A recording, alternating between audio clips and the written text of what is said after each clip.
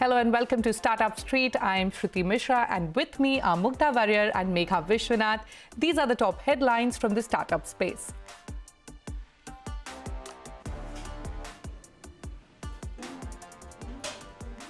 Chinese social networking app TikTok scales down its operations in India after government makes the ban permanent. Parent company ByteDance tells employees in a letter that it has to lay off a large number of people as there is no visibility on when it will make a comeback in India.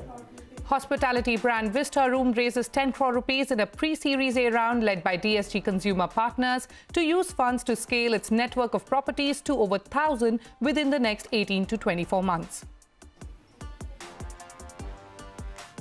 Industrial services platform WenWiz raises $3 million in a seed round led by Accel India, funds to be used for business expansion. Google revives plans to launch its own news website in Australia as early as next month, according to local media. Google has been pushing back against the Australian government's planned legislation that makes the company pay local news providers for content.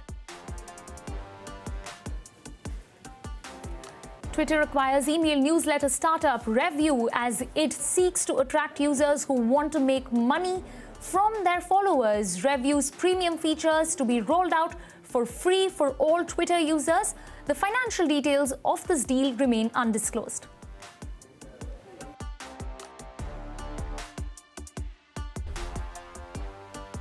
Well, those were the headlines we were tracking for you today. Now, days after the government had banned PUBG Mobile and several other apps last year, actor Akshay Kumar had put out a teaser for an action game called FAU-G, built by serial entrepreneur Vishal Gondal's nCore Games that would depict scenarios faced by the Indian Armed Forces. Well, the game has now been launched on Play Store for Android users. And while Play Store shows that the app has already seen over 1 million downloads in a day, the company says the number has in fact touched 5 million downloads. To discuss this more, we have Vishal Gondal, co-founder nCore Games, and my colleague Megha is also joining in. Uh, Vishal, welcome on the show. Uh, you know, first up, I wanted to ask you, uh, when we had you last year when this game was announced, you said that it would be launched in October. Uh, was there any delay or were you waiting to launch it on Republic Day? No, actually, we were looking to launch it in December.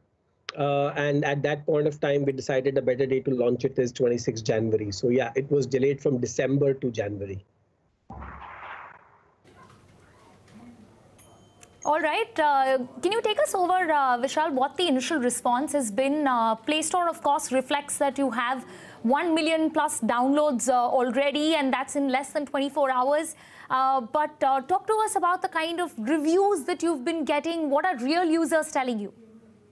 So we just tweeted some time back that we are now the number one free game in India, crossed over approximately 5 million downloads and going strong. Uh, clearly we are seeing a lot of interest in Make in India content. And I think if you remember when we spoke, I told you that what Indian gamers wanted was Indian stories, Indian themes, and content and games they can associate with. So far, they've been playing Chinese, Japanese, Korean, American games. While those games were great, but they are not themes you and I are passionate about. So FAU-G is really the first such game which we launched of course, the first version, as we mentioned, would be in the story mode where we are telling the story of Galwan Valley and what happened there. Uh, we will be launching uh, our PvP mode and Battle Royale mode in the next uh, through through this year. So I think the the question of disappointment really from people is to the extent of people wanting uh, battle royale and multiplayer on day one. Uh, we are definitely cognizant of it and we are working on it. But I didn't want to rush everything and launch it on day one and then have issues on the product. So we are going to take it slow, but we are going to build a, a very, very solid game. Okay, so the reviews are already coming in. Vishal, I want to talk to you about monetization of the app. You know, you had uh, said last year that 20% of this net revenue that will be generated will be donated to the Bharat Ke Veer Trust. Now, about the monetization aspect, you know, you were among the uh, many people who had protested against Google's 30% commission on all in-app purchases, which will also impact gaming apps like uh, FAU-G. Uh, now that the game has been launched, what are the discussions you're uh, having with Google? So clearly, as of now, Google is taking the 30% cut uh, because that that uh, the the 30% cut was also talking about other categories. Gaming is certainly a category where they are currently taking 30%. And that's where, by the way, bulk of our revenues are coming in. We are not as as much focused on advertising or ad-based revenue. For FAU-G, the revenue will be coming in form of in-app purchases. And currently, uh, whatever in-app purchases are made on FAU-G, uh, Uh, we get 70% and Google takes 30%. Uh, Vishal, this is Megha. Yeah, I want to jump in again quickly to understand on, and pick up on something that you said uh, earlier. Uh, the fact that so far uh, users are used to Chinese or Japanese games, and the theme of these games is not something that Indian users are passionate about. However, they did have a loyal uh, fan following for these applications. They were hooked on these platforms. Uh, so clearly, there was some amount of passion. If you're looking to replace that for the Indian users, what exactly are you going to be building? Because at the end of the day, uh, the initial downloads is coming from an initial response, but stickiness is going to be built based on how good the product is eventually. So what are you doing on that front? So I think we're talking about two things. So first is around content. And we all know, hmm. I mean, just look at Amazon Prime and Netflix. While they also came with shows like Narcos and all their international shows, which are at very high quality, but at the end of the day, the masses in India want to see Indian shows and Indian movies on even the OTT platforms. Uh, even in China, for that matter, the local Chinese games around Chinese themes do better. Same is the case in Korea. Same is the case in America. So I think the question of when it comes to entertainment content, local content, and always wins. And I think if the best example in India is Ludo King. Uh, you know, Ludo King is number one in India. And if you look at outside of Ludo King, there is nothing else. Uh, and we all in India have go, grown playing Ludo. So that is as far as the content or the local content is concerned. But as far as the game itself and the technology itself is concerned, clearly there is no compromise. And we have some of the best teams working with us. And we are confident that uh, you know when it comes to finally the gameplay, the game design, uh, we will be one you last, know on par, possibly better than anybody else. Okay. Uh, uh, Vishal, you know, just before we wrap up, uh, uh, you, you said that Google has already started taking a 30% commission.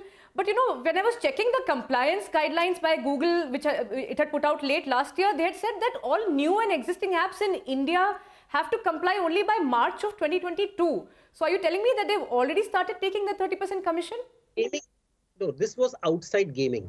The App Store, by the way, the history of App Store, gaming apps were actually the first ones that has been going for years. So gaming was always uh, already there. I think the the what Google was trying to introduce was this same 30% for other apps like education, health, etc. So I think uh, the gaming 30% and what they take from other digital uh, digital apps is already there.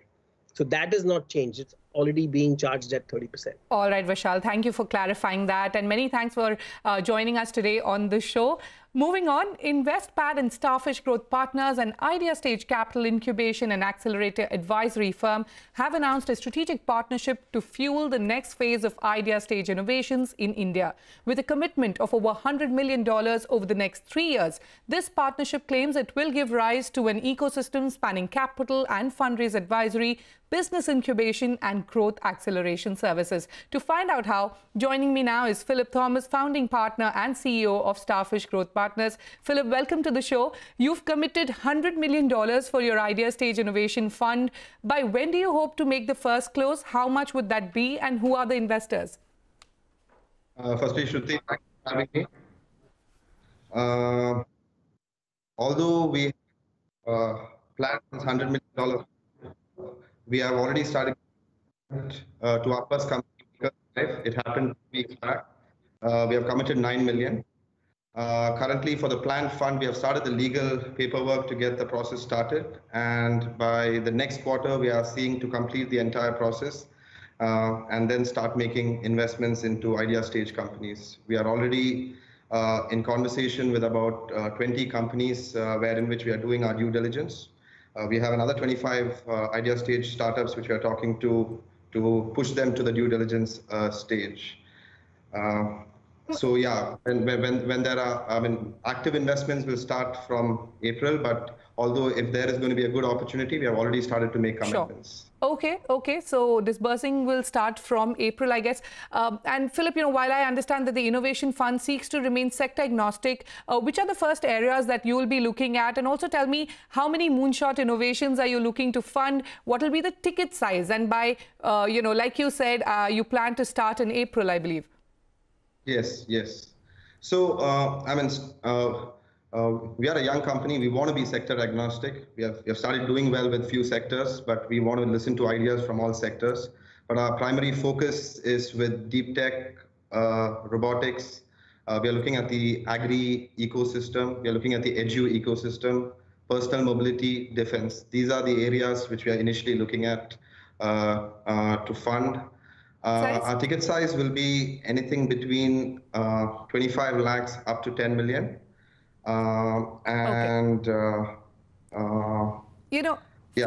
Philip, my next question, you know, despite startups being a buzzword for many years in India, founders have to rely on funds from family and friends to begin with. And you're catering to this through your Idea Stage Innovation Fund. And it is in partnership with InvestPad. And therefore, you know, it has a double operating base of US and Hyderabad in India.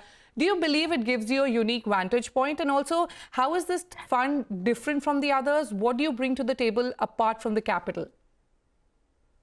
See, firstly, when Starfish and InvestPad came together to focus on the early stage uh, ecosystem, uh, see, we were primarily incubators. We incubated companies by uh, getting our hands dirty with the promoters. Like, you know, even when we invest or when we incubate, we tell uh, the portfolio promoter uh, that we, we, are coming in as partners. And as Starfish and InvestPad coming together, the capital is purely just to accelerate this system.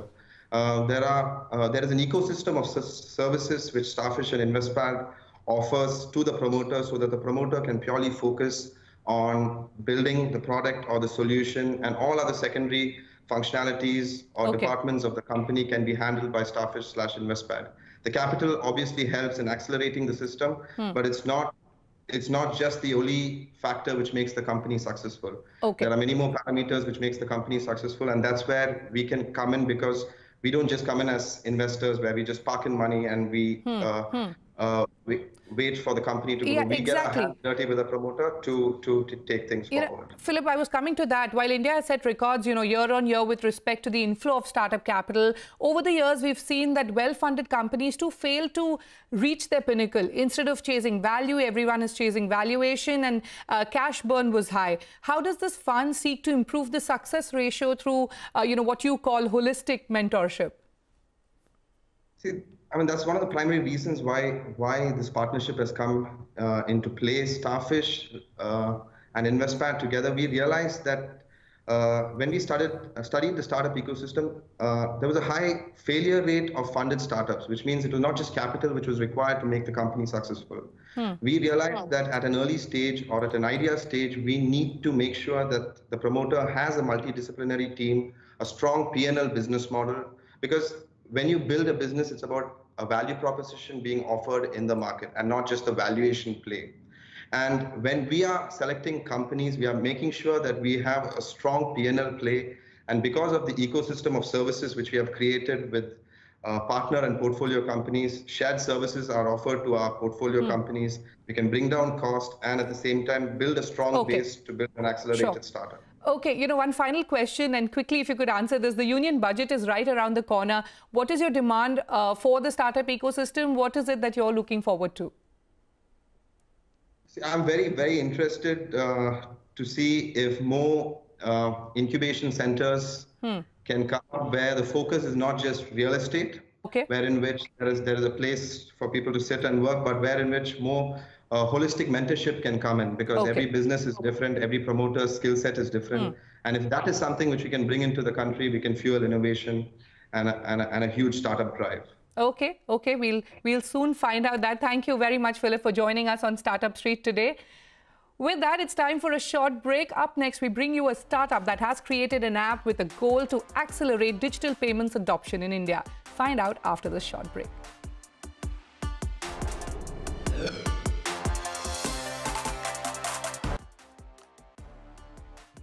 COVID-19 pandemic has given a huge boost to the fintech sector and accelerated the adoption of digital payments in India. While that's no secret, however, several industry experts believe that a large and a critical segment of small entrepreneurs is still untapped.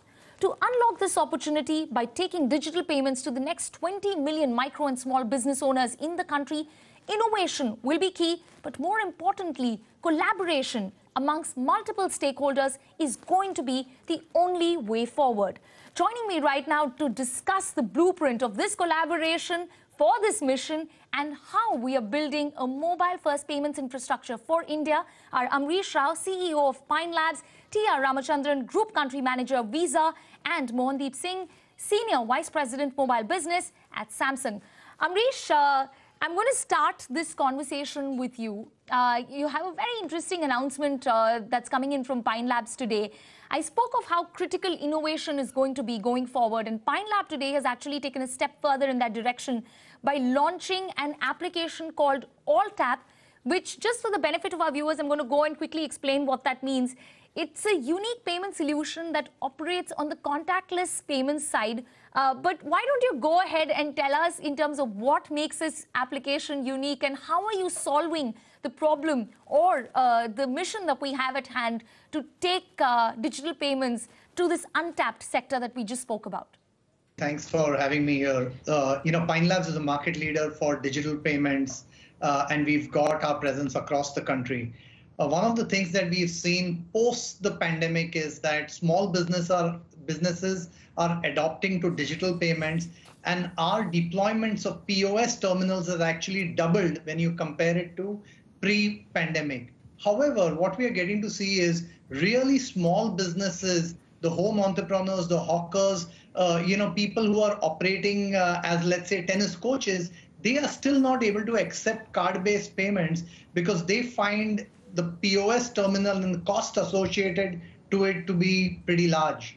Now, what we are releasing today is an entire software-based stack, entirely developed here in India, wherein we are making it completely secure to accept card-based payments on a regular Android phone device.